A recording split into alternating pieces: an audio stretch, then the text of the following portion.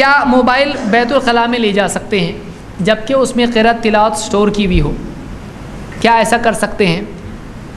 اگر وہ آن نہ ہو اسکرین سیور پر نہ ہو، تو ایسی صورت میں اگر قرآن اس پہ ڈسپلے پہ نہ ہو یا اس کی تلاوت آن نہ ہو، تو ایسی صورت میں اس کو لے جایا جا سکتا ہے۔ لیکن قرت سن رہا ہے اس میں آن ہے تو نہیں لے جا سکتا ہے۔ ایسی طرح سے اس کی اسکرین پر اللہ کا نام ہے۔ بہت سارے لوگ رکھتے ہیں اس طرح سے۔ یا آیت وغیرہ اس پر ہے یعنی دکھ رہا ہے، اس کی اسکرین پر آیت ہے، ایسی صورت میں نہیں لے جا سکتے ہیں۔ بلکہ ایسی صورت میں آیت اس کو اسکرین پہ رکھنا بھی نہیں چاہیے، چاہے وہ بیت الخلاء میں ہو یا باہر ہو۔ آیتوں کو نہیں رکھنا چاہیے، وضو کی حالت ہے، نہیں ہے، کہاں پڑا ہے موبائل، اس پہ وہ آیت دکھ رہی ہے اور اس کو کون چھو رہا ہے؟ بچے نجاست میں بھی ہیں اور اس کو چھو رہے ہیں، مناسب نہیں ہے۔ لیکن لے کیسے جا سکتے ہیں؟ جبکہ اس میں اسٹور ہو تو، کیا اس میں قرآن نہیں ہے؟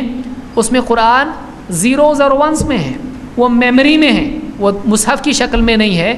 اسی لیے لجنا وغیرہ کے علماء نے یہی کہا ہے، سعودی کی جو بڑی کمیٹی ہے، پورے سعودی میں جن کا فتویٰ چلتا ہے، انہوں نے کہا کہ اس کا حکم قرآن کے مصحف کا نہیں ہوگا، اس کا حکم یادداشت کا ہوگا۔ وہ میمری ہے۔ میمری کے معنی کیا ہے؟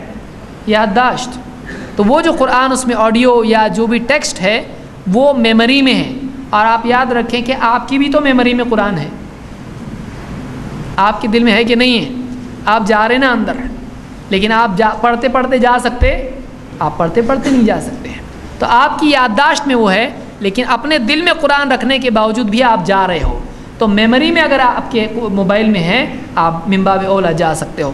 خصوصاً جبکہ آپ کو اس کے کھونے کا ڈر ہے۔ جبکہ نقصان کا ڈر ہے، تو ایسی صورت میں اور زیادہ آپ کے لیے وہ جائز ہوگا۔ بعض اوقات ایسا ہوتا ہے، آدمی نماز کے لیے بیچارے ایسے کیسز ہوئے نماز کے لیے آدمی سامنے موبائل رکھا، اللہ اکبر، سامنے سے کوئی ہاتھ آیا، سجدے میں ٹانگوں کے بیچ میں سے۔ ہاں اللہ اکبر، دوسرے اللہ اکبر پہ کہا گیا اللہ نے قبول کیا۔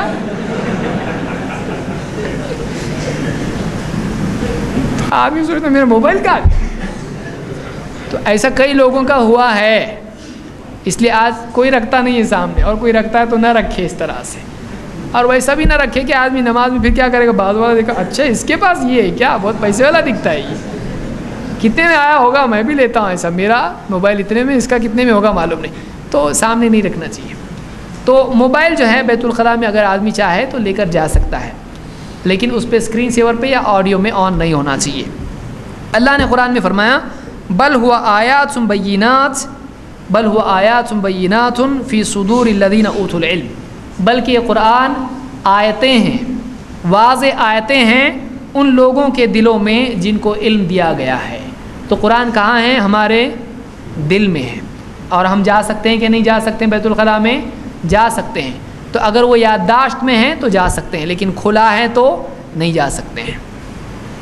یہ سورہ النکبوت کی آیت نمبر انچاس ہے۔